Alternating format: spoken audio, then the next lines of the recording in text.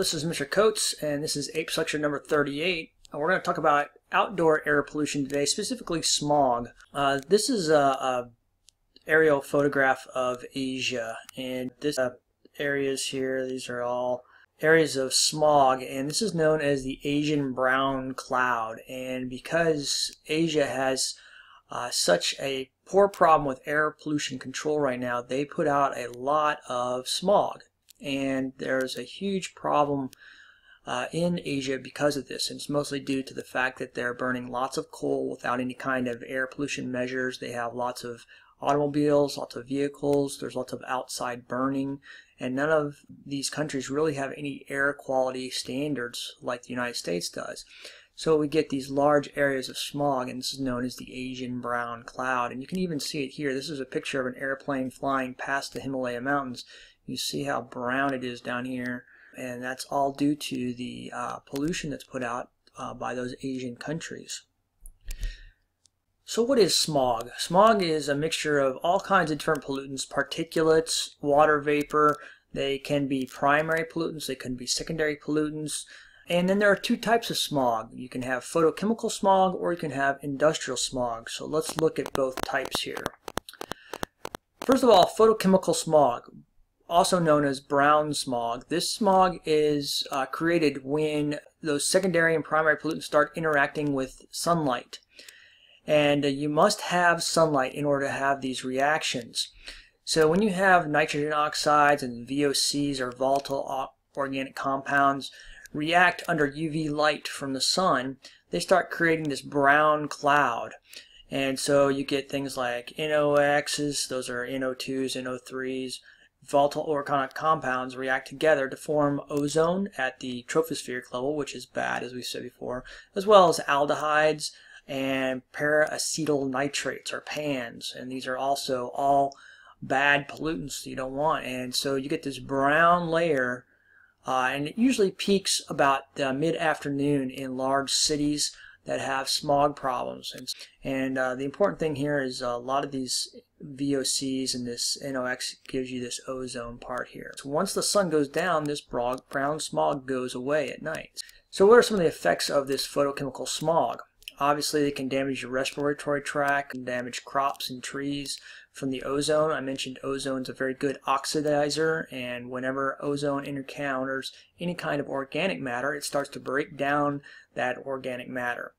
Some of the top smog cities in the United States include Los Angeles, Denver, Salt Lake City, and this is mostly due to some of their geography. We'll talk about that in a little bit, but uh, they have uh, warm, dry, sunny climates, and so this provides the opportune time for the sun to react with these pollutants. Now, I also mentioned gray smog. This is also known as industrial smog.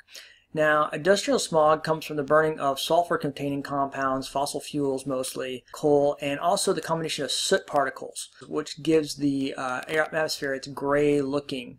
You can also have water vapor interact with the sulfur dioxide to form sulfuric acid, and this can cause burning of the lungs and the eyes and any other kind of thin tissues in the body. It is usually rare for you to find this kind of smog in the developing world due to our pollution controls.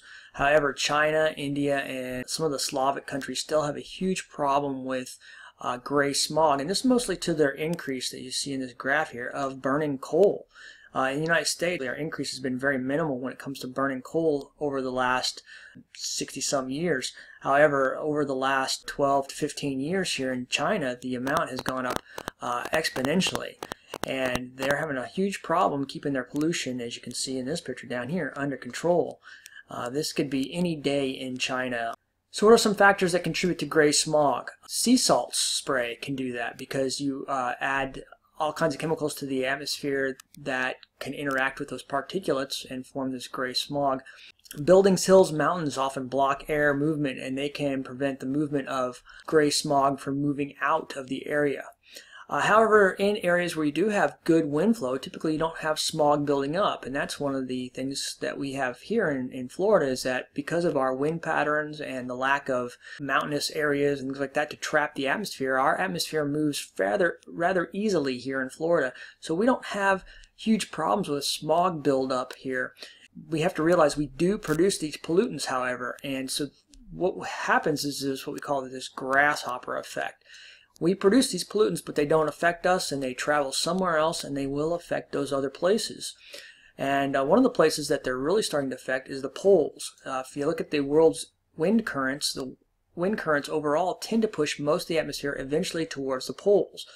And the poles can be a huge collection spot for a lot of these air pollutants. And so we're getting a lot of air pollution in areas where people don't even live from all of these uh, areas that uh, the wind blows the pollutants from.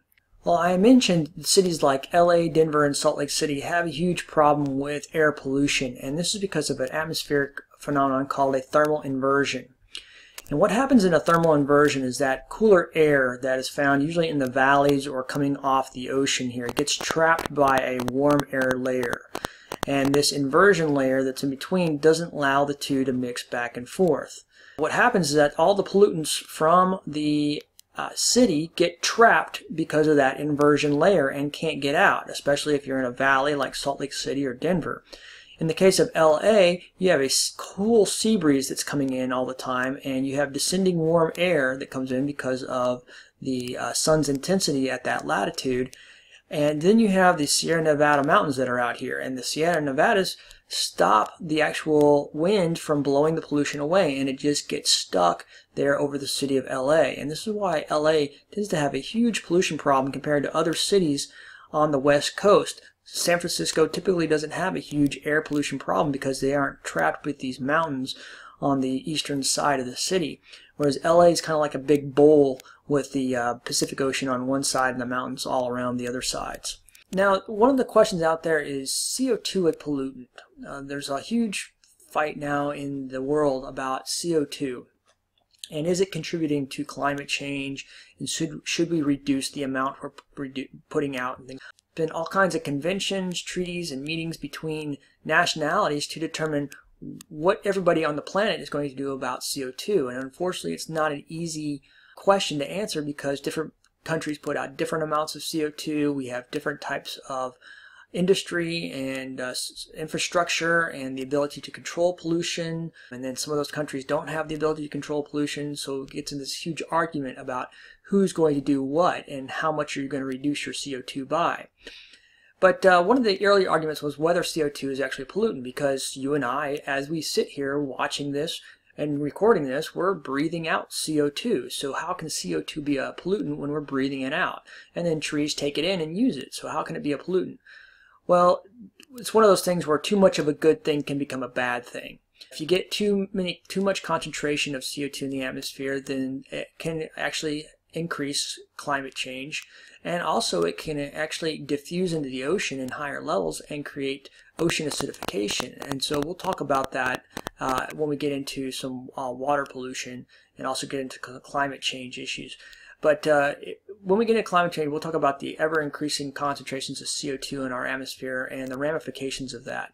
In this class, we're going to consider CO2 a pollutant. The excess CO2 we're putting out is polluting our atmosphere. I mentioned the grasshopper effect a minute ago, and this is haze, and you can see this area right here. It's all hazy and gross. But that is in the Arctic. Once again, there's nobody lives up there. There's no factories. There's no major cities in the Arctic, and it's just haze that collects from other areas. The atmosphere brings that pollution the problem with air pollution is a worldwide problem. It's not just a problem in developing countries because if developing countries pollute, produce the pollution, it's going to eventually move to where the developed countries are. So this is a worldwide problem because of the grasshopper effect and everybody on the, the planet needs to get on board with controlling air pollution and dealing with it. Well, I hope that uh, gave you some information on the outdoor air pollutants. The next lecture will be on indoor air pollutants.